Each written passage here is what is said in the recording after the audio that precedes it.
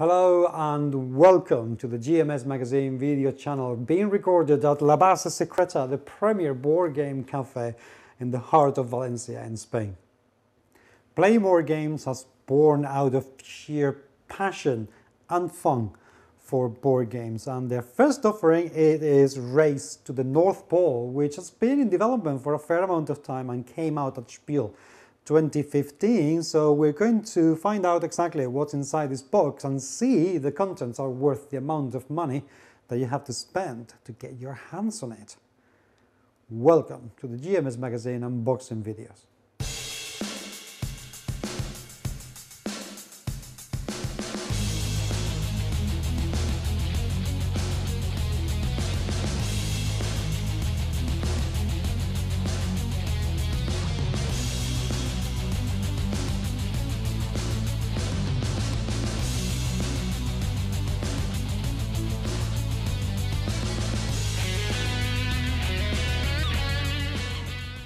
Play More Games, as I was saying earlier, it, really came out of a passion for games and they are part of Arctic Union, an organization that I'm very, very fond of and very supportive of because they do some absolutely fantastic, fantastic stuff. And furthermore, they have done their logo that you can see here, so it looks like GMS when it says games, which is, thank you very much indeed. I'm so glad I inspired that in you guys. I know I didn't, but I don't know, just let me live with that fantasy. Anyway, Race to the North Pole is that. It's a racing game, but it's a racing game that is funny. It really is very funny and really fun because you have to be backstabbing each other all the time and you are at the mercy of the elements in the North Pole. But they have had the good sense of actually using some very whimsical, very funny artwork so it doesn't promote any kind of nasty feeling when you're actually backstabbing another of your friends which is great. It's a game for two to four players. It plays in about well, 45 minutes, give or take, and ages seven and up. It's a simple, simple game. Nice box. Yes, they signed it for me.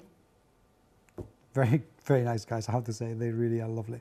And it's very solid. Uh, again, I do like remarking on, on the boxes, and in this particular case, they've done a really good job. This doesn't feel like a cereal box. You get lots of things inside the box. Let's take a look, first of all, at the rules. That comes both in German and in English.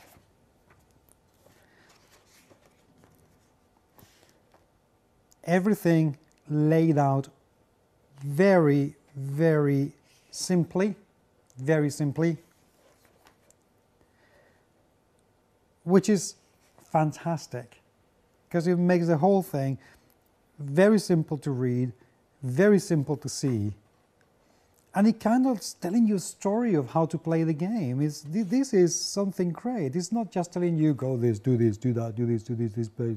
No, it's, it feels like it's telling you the story of how to play the game, which is great. Everything is so damn simple.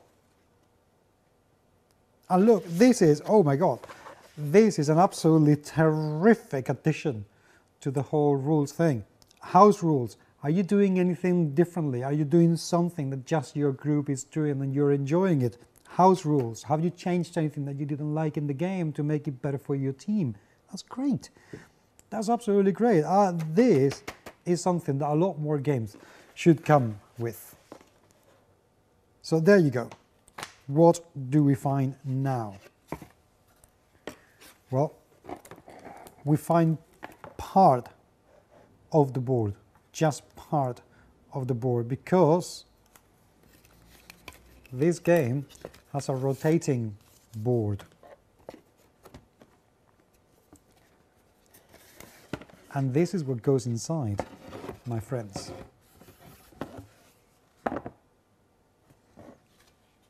This is going to sit on top.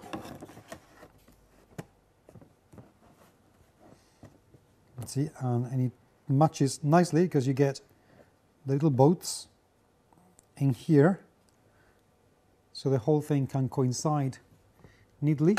Of course, if you have the time and inclination to do so, which at the moment I do not have, because I have time constraints for these videos. Otherwise I could stay here all afternoon. And the quality is really excellent. I love the background. It's a very nice detail. Then you get the central point, which you have to dig this and it to the, icon tells you to you know throw it away. And I will explain why in a minute. And then you get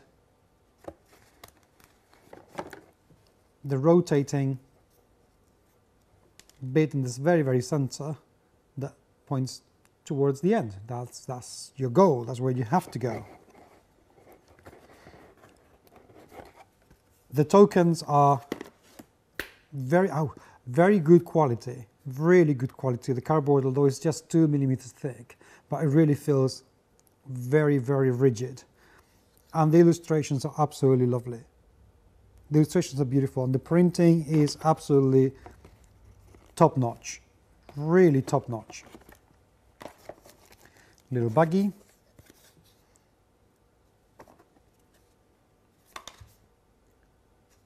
More little player boards.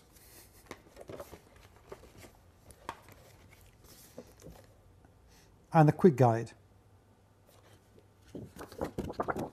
Very quick guide. Very nice. Very good touch again. Very, very well thought out. Some cards, some meeples. More play cards. I mean, just look, at the artwork. It, it is actually very nice. I mean, look at look, look at the face of that animal in there. These are the explorers, of course. And you can create your own. How good it is, they give you a couple of boards where you can actually create your own. No comment about copyright infringement for this one. Okay, there are just four penguins. Four penguins, that's all they are. it's just fantastic. I'm really loving this.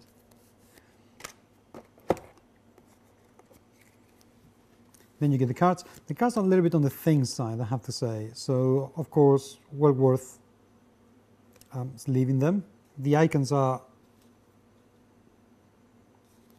very well, very nicely visible everywhere.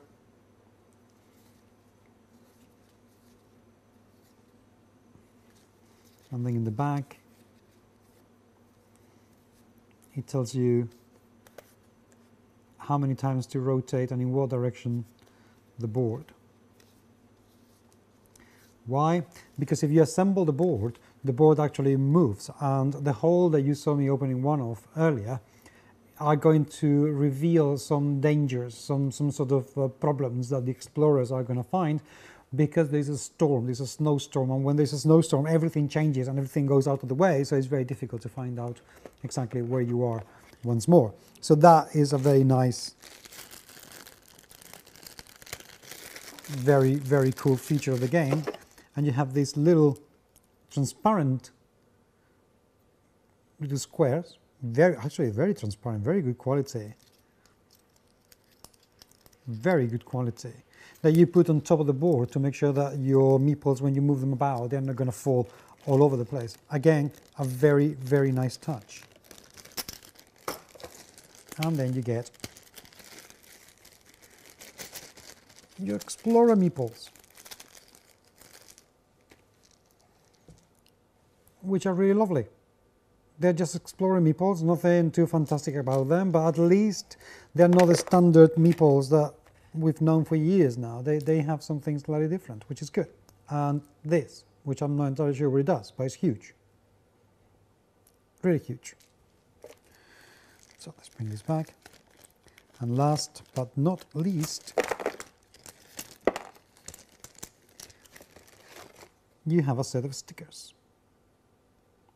Stickers that, oh, okay.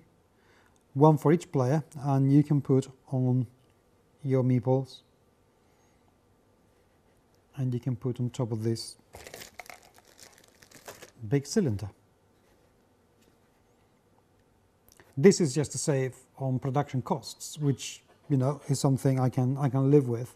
Uh, because otherwise, if, if, they have to create the meeples with all this engraved or whatever, it would put the price the price of, of the game a lot higher. So I'm I'm happy to spend a few minutes just you know setting these up to save myself 10 euros in in the game.